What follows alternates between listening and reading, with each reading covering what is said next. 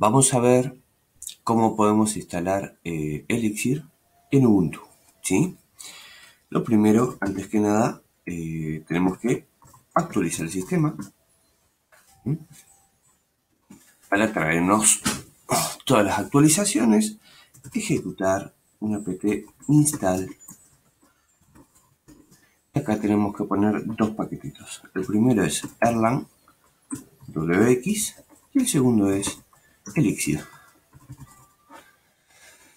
Erlang WX es básicamente todo el lenguaje Erlang, todo el ecosistema de Erlang, junto con un montón de librerías y, software, digamos, que nos va a ayudar a depurar todos nuestros programas. ¿sí?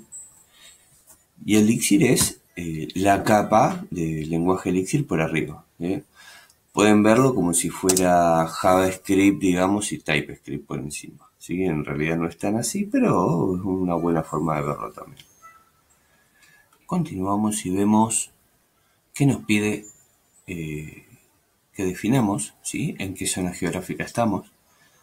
En nuestro caso estamos en América, en mi caso va Argentina, Buenos Aires.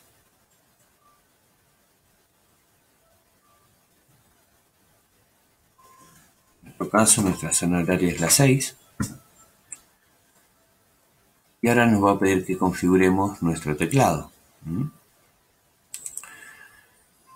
Esta configuración te la pide por librerías como Timer, por ejemplo, que necesitan saber la zona horaria y todo. Eh, the config, filing back front and redline, configura tu teclado. Perfecto. mi teclado es español. Español América Latina, ¿sí? En mi caso es el 84. Vamos a poner 84. Bien. Mi caso es el 1. Estaría finalizando.